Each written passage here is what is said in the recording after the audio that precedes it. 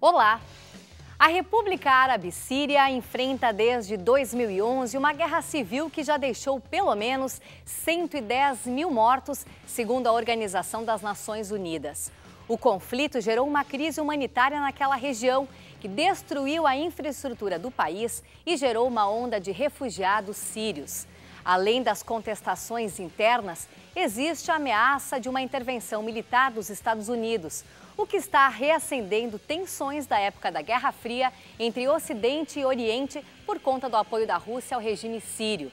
Agora, Bashar al-Assad tem uma semana para entregar todas as armas químicas e evitar que a Síria sofra um ataque militar.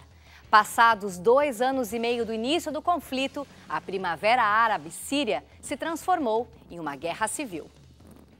A tensão mais recente no conflito foi registrada em agosto, quando a oposição ao presidente Bashar al-Assad denunciou mais de mil mortos em um massacre com uso de armas químicas em subúrbios de Damasco, controlados pela oposição.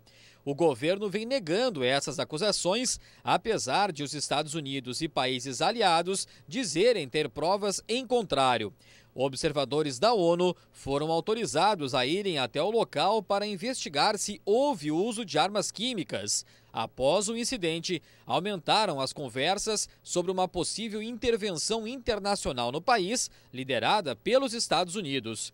O Conselho de Segurança das Nações Unidas se reuniu, mas não chegou a acordo, pois Rússia e China usam seu poder de veto para barrar uma resolução que permitiria atacar a Síria o presidente estadunidense Barack Obama fez um pronunciamento dizendo que decidiu que o país deve adotar uma ação militar contra alvos do governo sírio, mas ressaltou que irá buscar a aprovação do Congresso norte-americano antes de fazê-lo.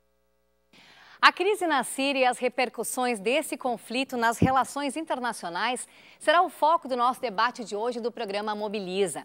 Nós convidamos aqui no estúdio para tratar do tema Gabriela Mesanotti, que é professora de Relações Internacionais da Unicinos.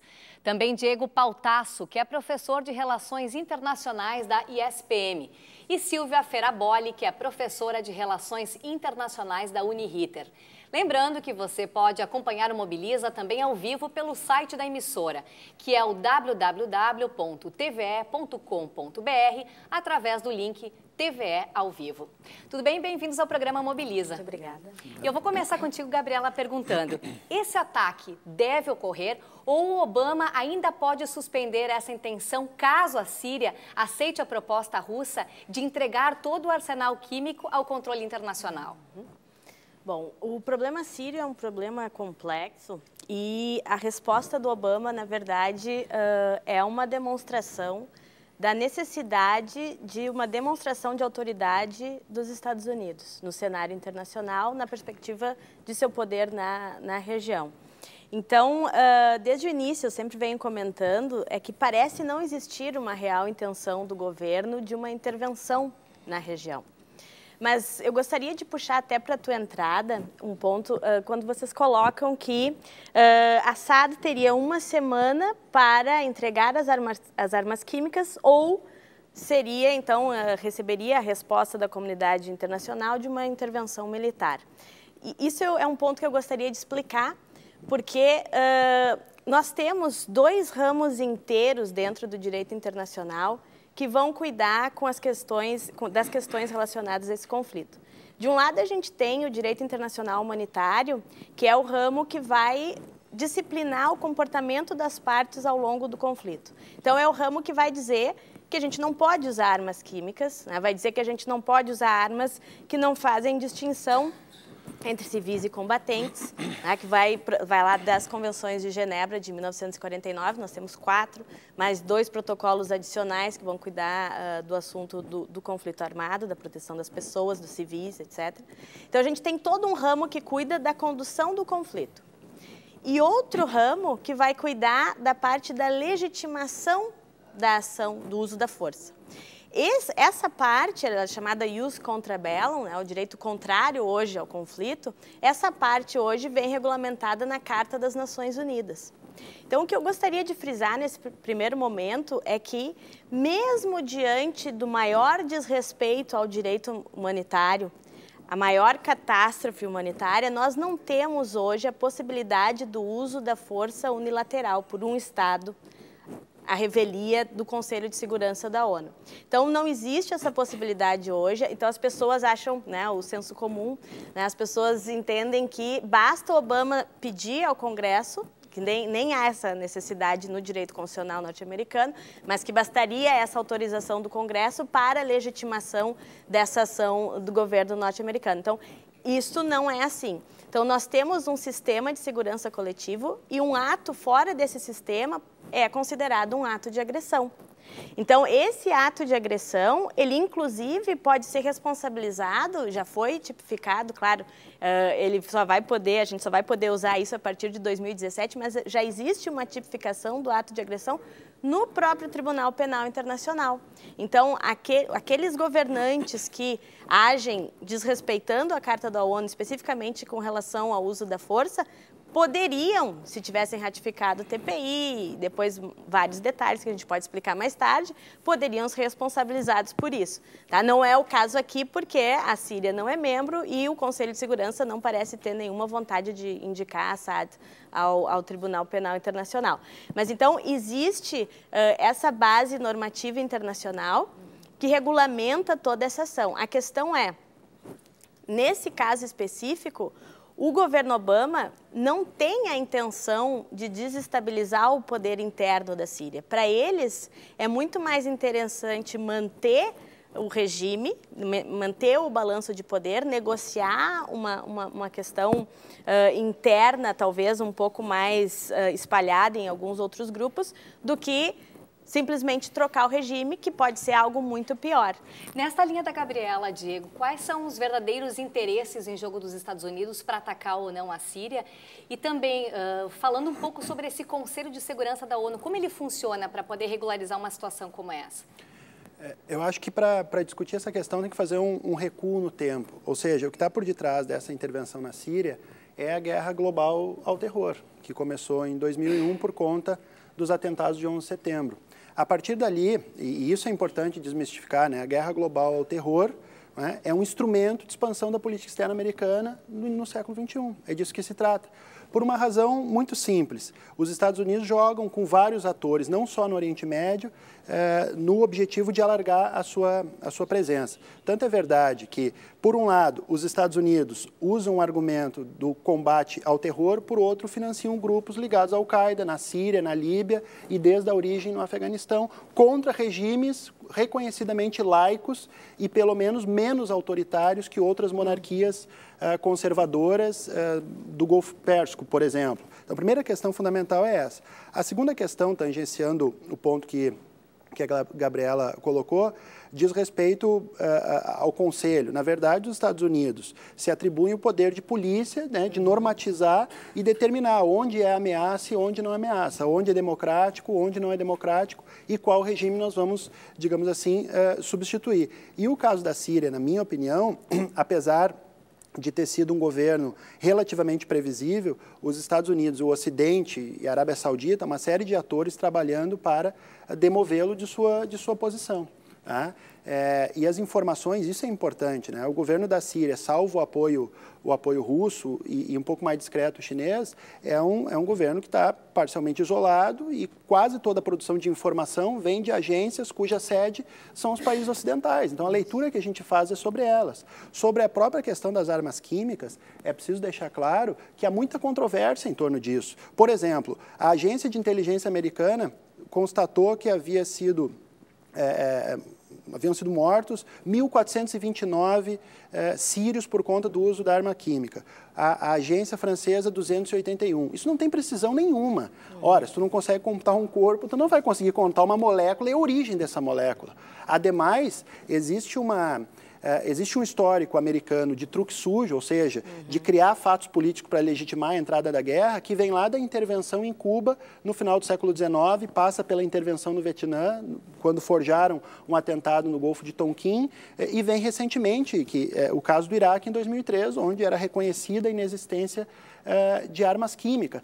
Ademais, o precedente de uso de armas químicas é dos próprios Estados Unidos, que usaram no Vietnã, né, usaram uh, na Nicarágua contra os contras, usaram, forneceram ao Iraque para usar contra os curdos na guerra do Irã. Eu acho que essa é, é a questão fundamental. E agora, a própria alegação do, do direito humanitário é um pretexto para intervir na Síria. Porque a, a, morte com arma química é pior do que a morte com arma convencional. Ou seja, morreram 110 mil pessoas na Síria, mas os 800, 200, 150 que morreram com arma química que permitiriam o uso uh, do, do, do, recurso à força e da intervenção de forma unilateral, porque provavelmente sem o apoio da Rússia e da Síria, para resolver o problema de um regime que a gente considera autoritário, mas provavelmente, certamente, menos autoritário que o saudita ou o regime do Catar, que são aliados fundamentais dos Estados Unidos naquela região. Agora, Silvia, quais seriam as consequências para o mundo se realmente esse ataque à Síria fosse liderado pelos Estados Unidos? Eu não sei, eu acho que tem uma coisa muito importante a, eh, a ser a, eh, um complemento a essa discussão, antes de responder essa questão, é, é o fato de que a gente está tratando a Síria mais ou menos como os Estados Unidos tratavam Cuba durante a crise dos mísseis em Cuba. Quero dizer que Cuba não existia, né? Assim, a posição cubana, Cuba como um ator não existia, era só um palco onde os Estados Unidos e a União Soviética disputavam poder. Então, Cuba como uma posição subalterna, subordinada, até mesmo feminina, a gente poderia dizer. E agora a Síria, na maior parte das discussões, ela se coloca da mesma maneira. O que acontece é que a gente fala da Síria como a Síria fosse só um lugar onde as coisas acontecem, onde grandes é, forças internacionais operam no sentido de disputar algum poder uh, global, e a Síria é uma região onde a coisa acontece. Mas eu acho que a gente tem que ver a Síria como um ator importante, uh, ver as dinâmicas que estão acontecendo na Síria hoje como, como uma questão interna síria, e que e isso deve ser fundamental até para a gente poder responder essa tua questão que é as consequências para o mundo. Para o mundo não vai ter muita consequência. O que interessa é o que vai acontecer com a Síria se isso se um ataque realmente ocorrer que eu acho que não vai ocorrer é, porque a gente está esquecendo que a Síria não é só um lugar onde as coisas acontecem, onde há disputas de poderes globais. A Síria é um ator internacional, um ator regional dos maiores entre os países árabes. E, e, e muitas das questões que estão ocorrendo lá hoje são questões internas sírias. Eu acho que a Primavera Árabe ela abriu uma, ela, ela, ela lançou luz, assim, a, a, não sei, a chama da revolução na região, e sim, um conjunto de ditaduras estão sendo derrubadas. E o, a, o regime Assad é mais uma dessas ditaduras que vão ser derrubadas, sim. A questão é, logicamente, quando acontece, quando a Rússia começa a se meter nisso e os Estados Unidos, a gente faz o quê? A gente acaba reproduzindo o discurso global de tratar um conflito interno como um conflito, a gente retoma a época de Guerra Fria. Só que a gente está esquecendo que existem dinâmicas internas dentro da Síria, que esse regime já era para ter sido derrubado há muito tempo. E eu até uh, acho estranhismo que ainda não foi. Deixa eu aproveitar, Silvia. Por que mantém, então, Al-Assad no poder? Bom, uma coisa é, uh, o Assad, é, essa família, o regime, não é, não é um governo, essa família está no poder desde a década de 70, eles têm um conjunto de Hoje, depois, depois da destruição do Iraque, a Síria é o país mais armado do mundo árabe e é o único país capaz de rivalizar com, com Israel.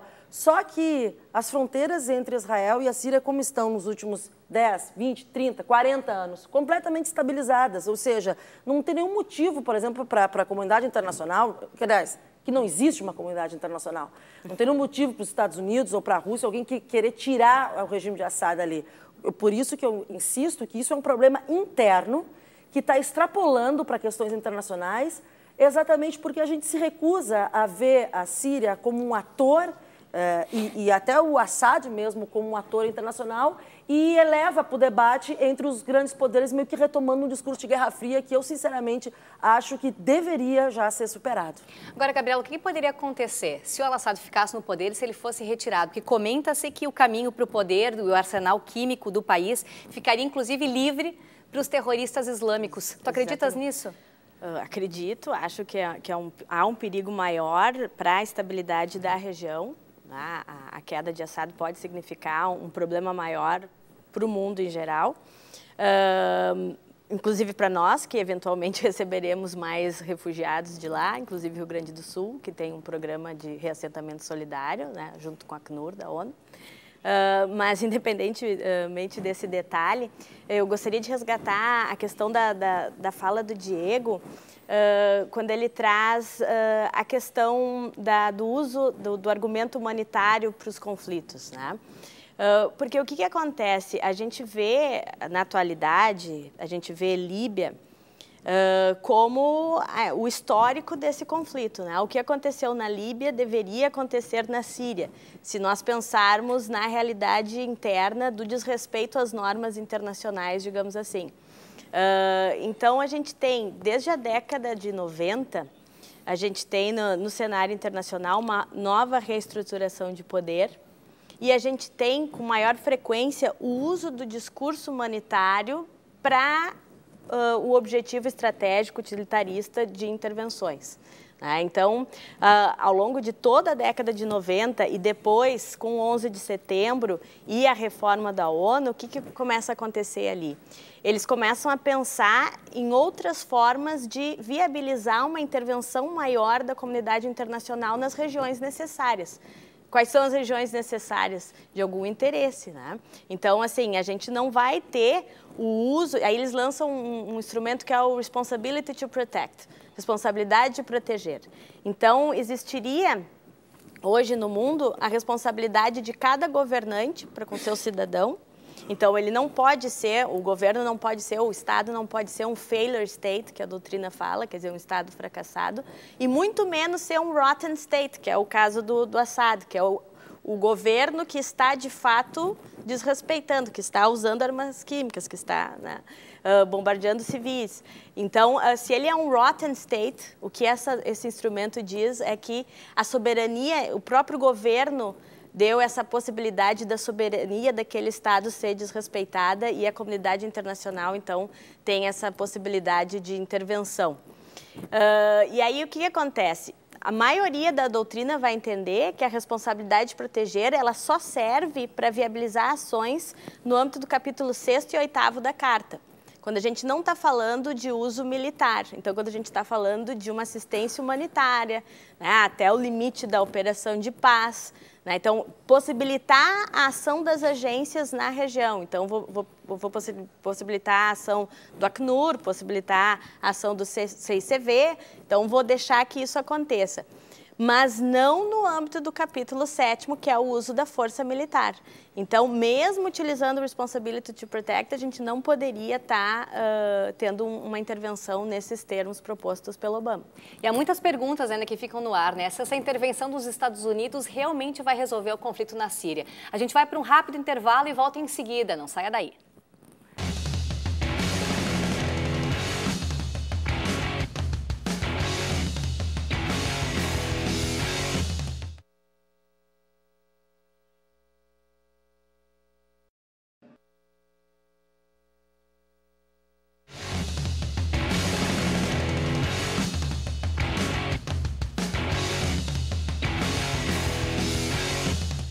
E voltamos com o Mobiliza de hoje, que debate a crise na Síria e as suas repercussões.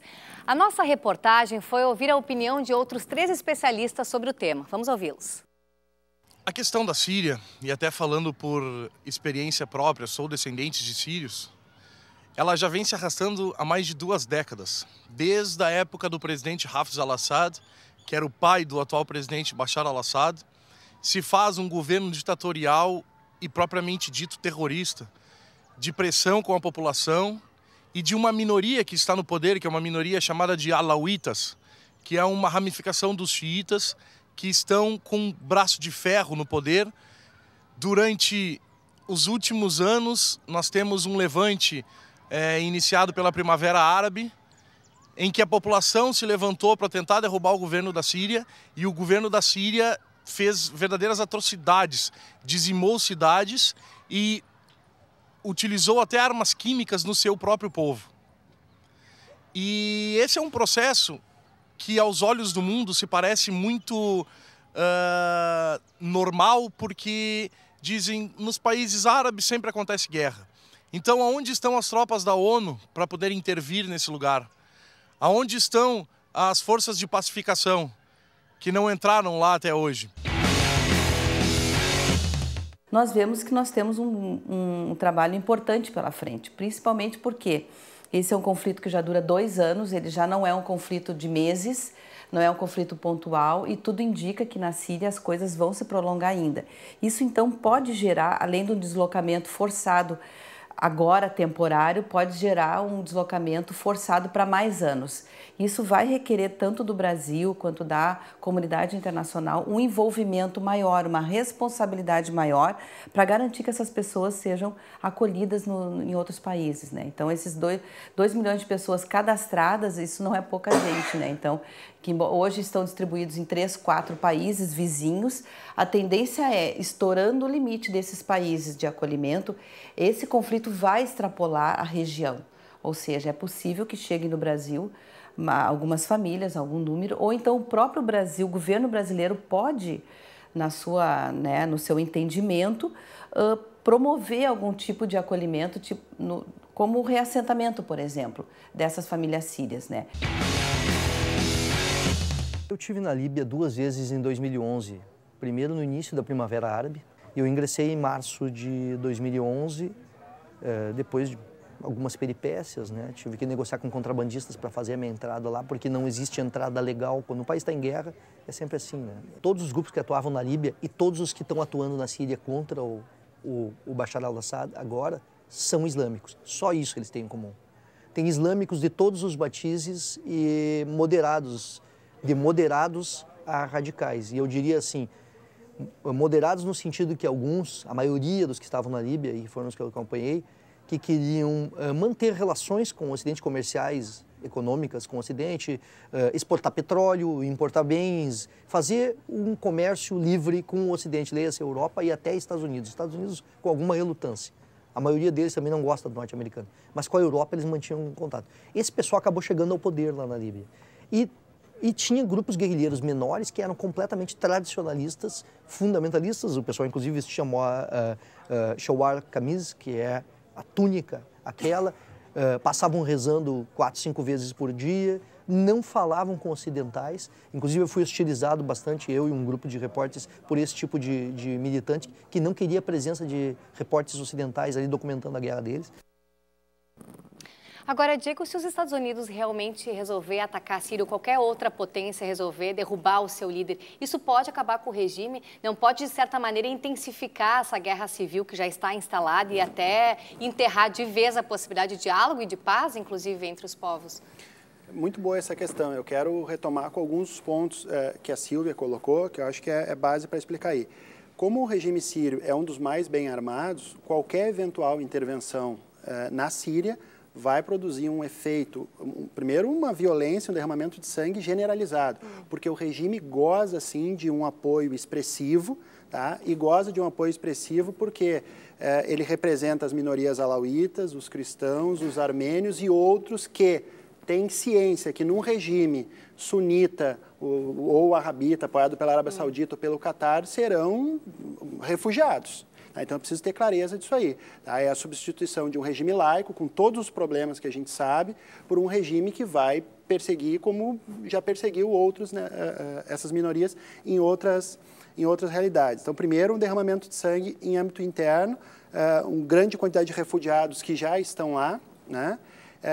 E segundo, o que, é, o que eu acho que é, que é mais importante é um efeito de desestabilização regional. Sim. Por isso que eu, eu, concordo com a Silvia quando ela fala que, que há uma dinâmica interna, e essa dinâmica deve ser considerada, só que há uma dinâmica regional e uma dinâmica global que se interrelacionam, que são absolutamente cruciais. Por exemplo, do ponto de vista regional, é, além do, do, envolvimento da Arábia Saudita e do Catar no conflito, financiando os tais rebeldes, né, e portanto não pode ser só doméstico, tu tem o Hezbollah envolvido nisso aí e todo o sul do Líbano, norte de, de Israel que vai se envolver isso.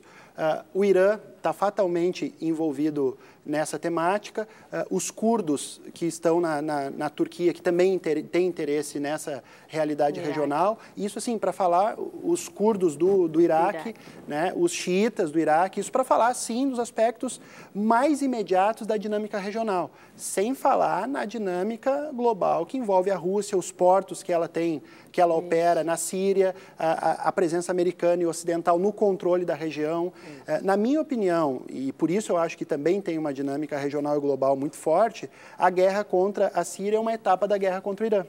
Uhum. Né? Portanto, eu não consigo separar esse aspecto da, uh, da intervenção com o derramamento de sangue interno e os efeitos na política regional e global. Nós falávamos aqui no intervalo, Silva, por que tu acredita, eh, acreditas na possibilidade de uma democracia islâmica?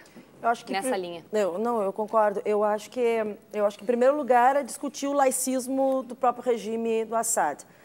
Quando esse regime que está no poder, ele representa basicamente 12 ou 15% dessa minoria alauí, e esse exército, o exército que sustenta esse regime, é um exército composto basicamente dessa minoria, que é um, um, um branco específico do xiismo, eu não consigo ver um regime desses uh, como laico.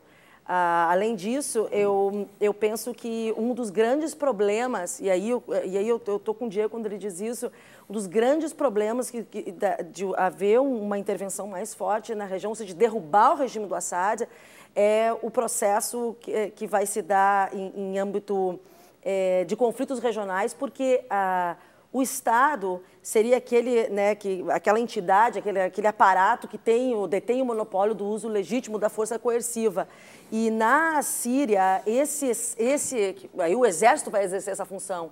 Na Síria, o exército está totalmente identificado com o regime do Assad. Ele não está ali para defender o Estado sírio. Ele está ali para defender o regime da família Assad. E é possível derrubar um regime, porque se nós formos comparar com o Iraque, por exemplo, o que se instalou foi um caos. Uhum. Depois da derrubada do é, E a própria Líbia. Tu, deixa, né? deixa eu só terminar uh, essa parte especificamente, já que tu tocou nesse assunto. Se é possível derrubar esse regime, é. Mas vai acontecer exatamente como como aconteceu no Iraque, tu desmancha o Estado. Porque esses estados, eu acho que é muito importante lembrar disso, esses estados são estados artificiais, criados artificialmente, e que eles não teriam essa configuração estatal se eles tivessem, se esses estados tivessem nascido da sua própria configuração histórica e política. Então, como são estados artificiais, qualquer ruptura que tu dá na construção desses estados, o que acontece é que tu tem um desmanche estatal, uhum. que aconteceu no Iraque. O Iraque hoje não é mais um estado. Então eu acho que o principal problema hoje que pode acontecer na Síria, na tentativa de derrubar o Assad, é e o exército que estaria ali para defender o Estado, mas que a população percebe como identificado com o regime, vai acontecer o quê? Como é que vai se lidar com esse exército, que é um exército totalmente identificado com o regime? Que é diferente do Egito. O Egito, o exército egípcio serve ao Estado egípcio, não ao regime do Mubarak ou o regime do Nasser. É um exército que, de alguma maneira, se relaciona com o regime, mas também ele está separado, porque ele ainda está acima como Estado. Mas na, na Síria isso não existe. E aí o que, que vai acontecer se houver uma intervenção? Que eu repito, acho que não vai acontecer. Tá, vamos passar para o outro lado. Se não houver uma intervenção, Gabriela, isso não pode, de certa maneira, fortalecer países aliados como Irã, a Coreia, para que realmente aumentem o seu arsenal químico e disser, bom, Estados Unidos, a partir de agora, perdeu a sua credibilidade, nós somos os donos do mundo e podemos fazer o que quisermos. Não sei, eu acho que essa última, eu não sei se foi uma, um, um, um tropeço do Kerry, ou se de fato foi um pensamento da uma articulação interna da, da política norte-americana, uh, mas essa última proposta de uma solução diplomática, da instalação uh, de, então de, de, de, de funcionários da ONU para verificar a entrega das armas químicas, eu achei uma cartada muito inteligente. Se foi assim bem bem pensada, eu achei muito inteligente do mas governo. Mas num prazo de 10 dias é possível? Não sei bem como eles vão colocar os termos, uh, porque eles vão criar um protocolo agora indicando todos os procedimentos. Mas achei uma cartada muito boa do governo, porque se ele conseguir resolver essa questão de forma diplomática, ele ganhou, o jogo de xadrez está ganho. Porque, na verdade, não vejo uma, um interesse norte-americano na troca de regime do, do, balanço de poder dentro da Síria. Não, não vejo essa, essa, essa possibilidade de, de pensamento. Vejo, sim, uma tentativa, uma demonstração, uh, digamos assim, de resgate até do presidente, porque ele traçou uma linha vermelha há um ano atrás e ficou nessa responsabilidade. Então, uh, mas não vejo uma, uma, uma, uma, vontade direta de uma intervenção. Uh, de qualquer forma, todo, todo o planejamento da intervenção agora é uma, um ataque quase cirúrgico, né, que eles estão indicando que é um período pequeno, né, sem, uh, sem tropas no chão. Né, então, a gente não decide nenhum conflito sem ter homem no, no, no, no, território, então acho muito difícil. Vai lançar o bombardeio seria muito mais psicológico para alguns, para tentar desestabilizar um pouco. Então, se ele conseguir não intervir e resolver isso diplomaticamente agora e talvez desemperrar um pouco a posição russa no Conselho e talvez abrir um pouquinho para opções jurídicas né, e diplomáticas dentro das organizações, né? talvez até contando com a Liga Árabe, né? se a Rússia abrir um pouco, porque a Rússia já indicou que se for aceito esse, esse, tipo de negociação, ela vai poder abrir um pouquinho o seu posicionamento, acho que vai ser uh, uma ótima solução para o governo Obama. Agora, eu sempre fico com essa dúvida, Diego, na verdade, por que, que é sempre preciso chegar ao limite, ter um ataque químico, ter várias mortes, para que possa haver uma intervenção? Eu acho que as analogias, as analogias históricas nos, nos ensinam algumas coisas. Por exemplo, eu acho que esse prazo curto e o tal do evento da, da arma química é exatamente para legitimar uma intervenção. Porque no caso do Iraque, por exemplo, que foi o último, onde as semelhanças são impressionantes, eh, o José Maurício Bustani, que era um diplomata brasileiro, era o representante máximo da OPAC, estava trazendo o Iraque para dentro da organização para provar que não tinha, e ele foi removido dessa posição dos Estados Unidos para que não houvesse uma resolução diplomática no problema e para que persistisse a suspeita e, consequentemente, o pretexto para intervir. Então, é, é, me parece que o caso, tanto do evento das armas químicas, quanto o criar uma condição é, é, em que tu, tu coloca uma condição política que não pode ser cumprida. Quando tu coloca uma situação política que não pode ser cumprida, é que teu objetivo é que ela não seja cumprida e que a coisa seja resolvida pelo recurso à força. É, a principal forma de acabar com, com, o conflito na Síria é deixar de financiar os rebeldes que recebem arma e dinheiro. É muito simples. É só botar lá no Google rebeldes sírios e imagens que tu vai ver que os caras têm armas que uma pessoa convencional não tem em casa. E que aquelas armas, ninguém tem um, um morteiro em casa, vou usar agora na guerra civil contra o governo. E isso é uma situação construída certo? Uh, se tu pegar os documentos do Wikileaks, a, a embaixada americana uh, em Damasco falava da necessidade de democratização da Síria, de mudança de regime, coisa que aconteceu que também não é a primeira, a primeiro caso desde o do fim da Guerra Fria. Nós tivemos a Revolução Laranja, nós tivemos a Revolução na Geórgia das Rosas. Há uma série de casos onde o Serviço de Inteligência americano atuou para promover a mudança de regime. E, e pô, a gente está vendo isso agora. Serviço de inteligência americano, que não tem nenhuma desavença com o governo americano, com o governo brasileiro, está monitorando diretamente a presidente, está monitorando diretamente uh, a questão do petróleo brasileiro. Eles podem fazer muito mais por uma situação uh, onde os interesses deles estejam envolvidos. E a questão também do, do uso de imagens, né, do uso da, da própria questão humanitária agora, nesse conflito, mostra exatamente isso. É um desespero para provar uma necessidade de estratégia política. Pois é, mas há um alvo político definido, Silvia, porque fala-se em derrubar o líder, fala-se em derrubar o regime, fala-se em retirar as armas químicas, em atacar o país, mas qual é o alvo político que realmente se quer atingir? Tipo, qual é a finalidade de um possível ataque? Eu acho que uh, esse, esse, provavelmente a Gabriela disse é verdade, né? Eles não devem, ninguém deve saber exatamente qual é a finalidade, assim, qual o ganho que se teria, esse o é o que, que se ganharia com uma intervenção na Síria. Agora, de qualquer maneira, embora eu concorde que uma das maneiras de acabar com esse conflito seria parar de financiar grupos rebeldes, eu também acho que uma das maneiras de resolver não esse conflito na Síria, porque isso não é o grande problema da Síria. O problema da Síria é tu ter um Estado que funciona basicamente desde a sua existência sob ditaduras militares. Uhum. E aí o problema dessa situação toda é que não é só parar de financiar os grupos rebeldes, mas é parar de financiar também essa ditadura que está no poder há 40 anos. Porque uma coisa é, é, vai, vai se chegar num momento que vai ter que tomar algumas decisões em relação ao que fazer. Ou se, se age efetivamente, aí tu teria, então, não sei, uma força internacional que vai colaborar com o desenvolvimento do Estado, eu não sei o que vai acontecer, ou simplesmente parem de se meter é, é, a Rússia pare de armar a, a, é, esse regime, os Estados Unidos e seus aliados parem de armar esses grupos rebeldes. Mas aí, claro, a gente fica na história da carochinha, né? Isso não vai acontecer, eles vão continuar fazendo isso.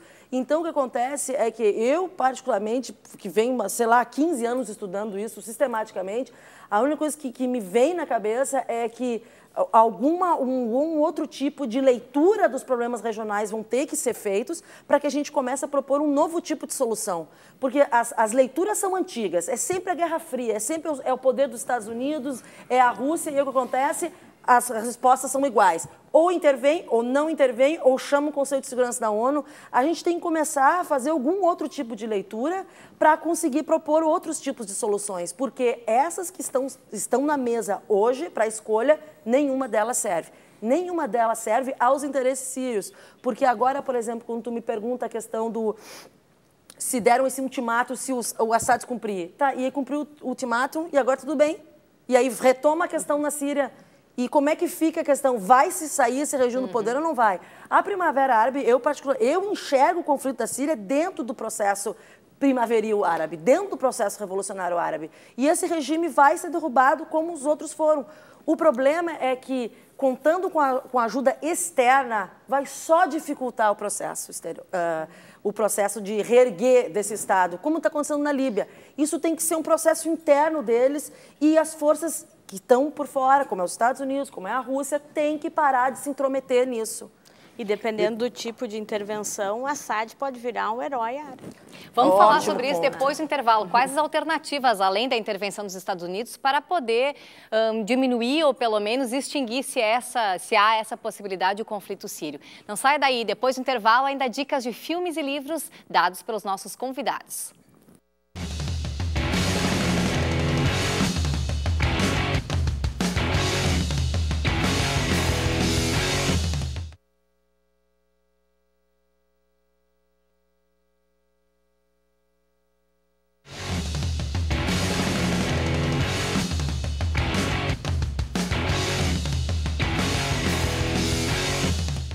Estamos de volta com o programa Mobiliza. Daqui a pouco, os nossos convidados vão dar sugestões de filmes e livros sobre o tema do nosso debate de hoje. Estamos discutindo a crise na Síria e as repercussões disso. E você também pode comentar, curtir e até compartilhar a nossa página no Facebook.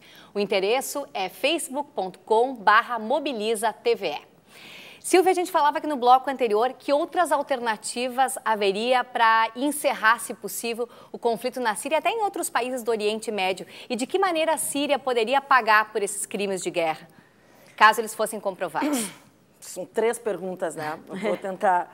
É, me parece que, em primeiro lugar, é, seria parar de tratar a Síria como um lugar onde disputas entre grandes poderes acontecem e começar a respeitar o Estado sírio é, e a população síria como seres a serem levados em conta no momento do processo de tomada de decisão política.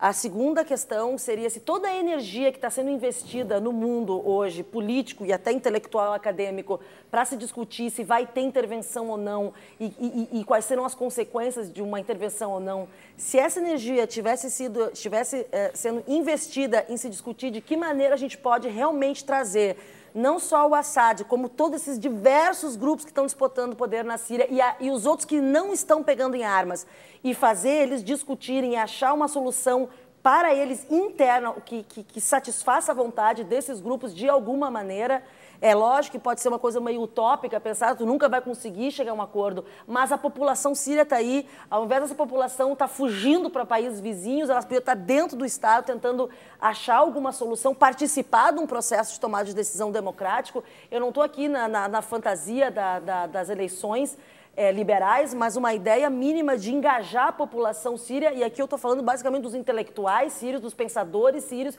que estão completamente excluídos desse debate.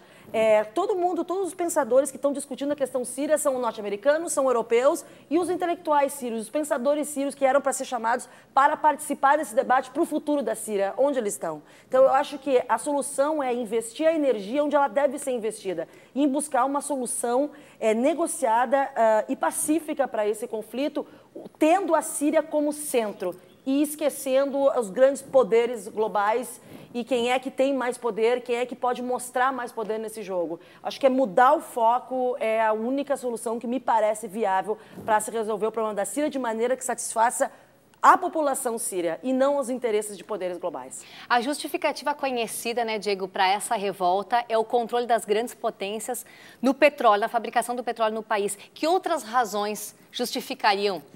Olha, é, eu queria primeiro considerar sobre, sobre os interesses envolvidos na, na região, que foi abordado no, no bloco anterior. É, primeiro fato fundamental é que o governo sírio não é um governo alinhado, embora seja um governo previsível. E aí eu concordo com os colegas quando abordaram que talvez essa fosse uh, é, seja a melhor alternativa para os Estados Unidos na região. Mas como a gente estava conversando no intervalo, nem sempre o governo dos Estados Unidos é consequente. Se assim o fosse, não teria removido o Saddam Hussein e uh, o Gaddafi da, da Líbia.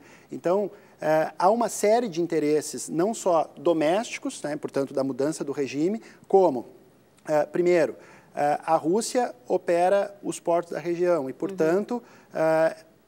o interesse histórico dos, dos, Estados Unidos de cercarem a Rússia. A gente conhece o caso da Ucrânia, o caso da Geórgia, o caso do Afeganistão, dos países da Ásia Central.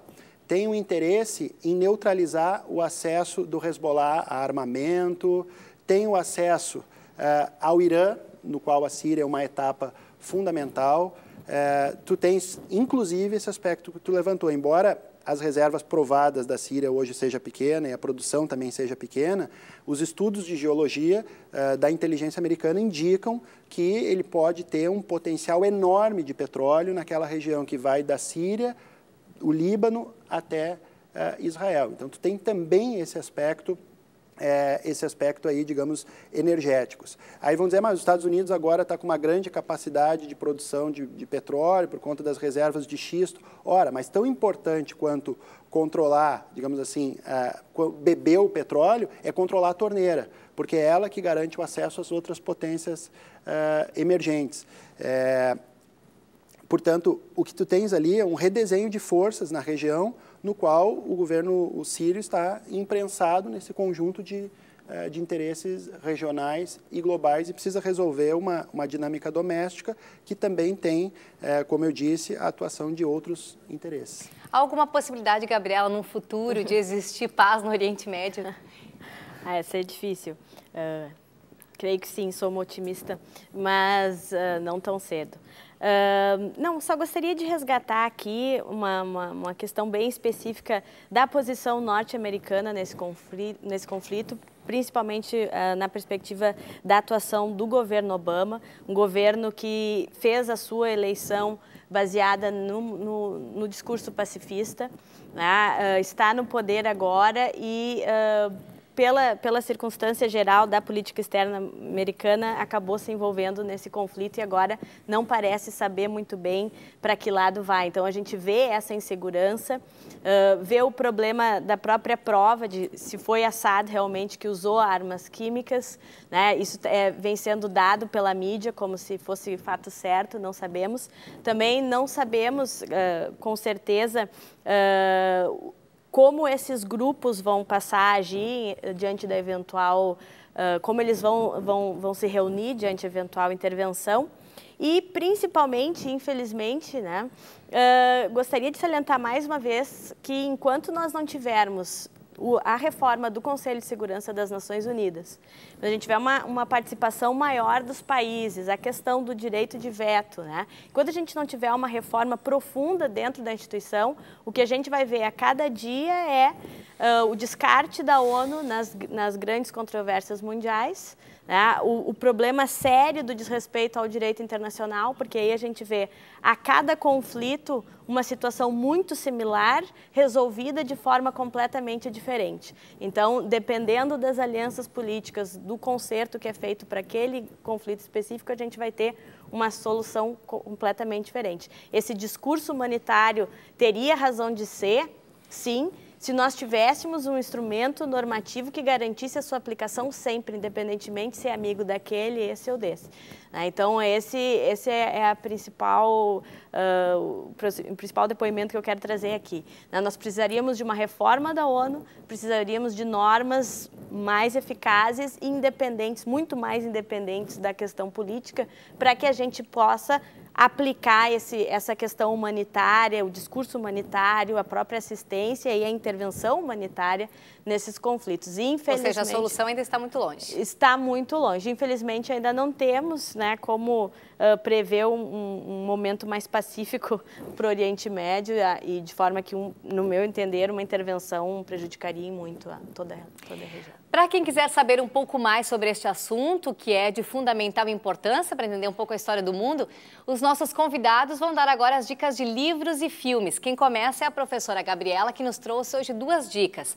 A primeira é a publicação do livro The Golden Fleece. O que, que trata essa publicação, essa então, obra? Então, essa obra, justamente, ela traz uma série de artigos que vão justificar cada intervenção dita humanitária.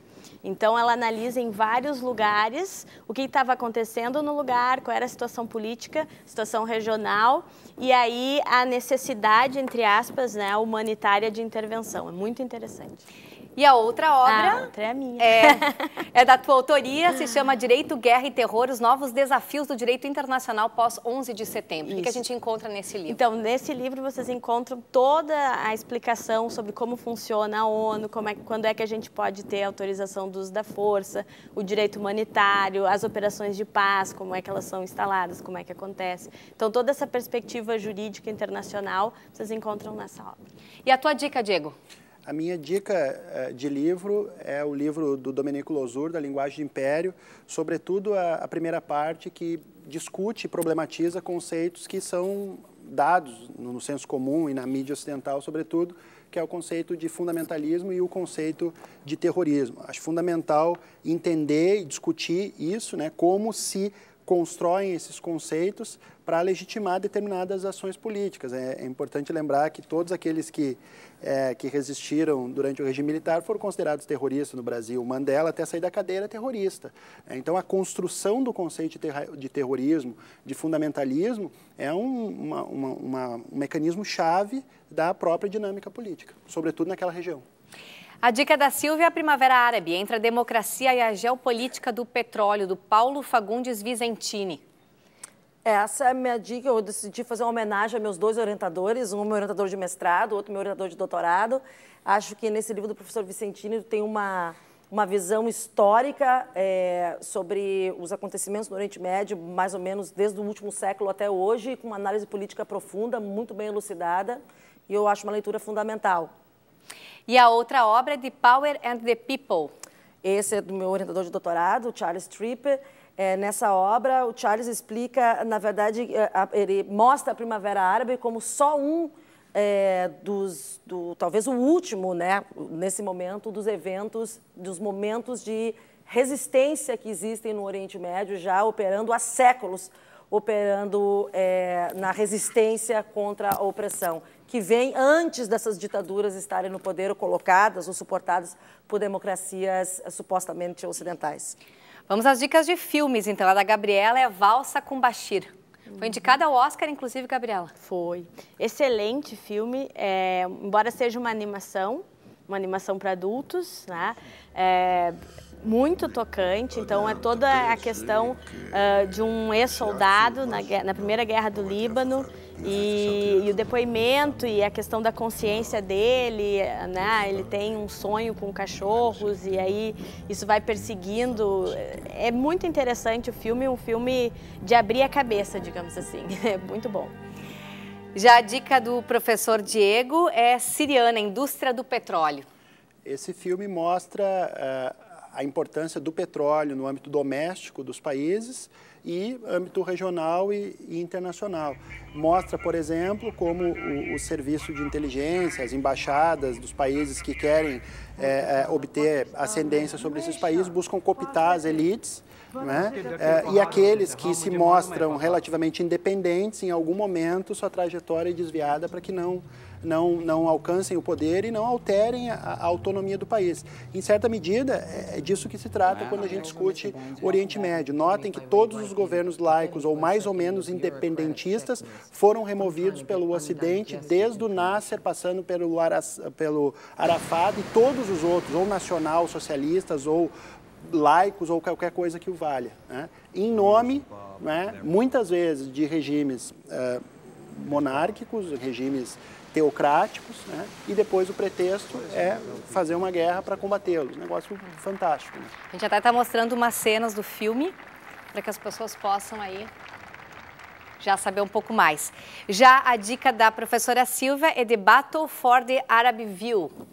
Ah, essa Battle for the Arab Viewer é um documentário muito bacana sobre que mostra as diferentes narrativas da Jazira e da Arábia uh, da revolução no Egito, mostrando de que maneira o posicionamento é, do regime saudita e do regime uh, do Catar como o conflito entre esses regimes em relação à Revolução Egípcia é demonstrada na narrativa dessas emissoras dos eventos que ocorreram, que levaram à derrubada do Mubarak do poder.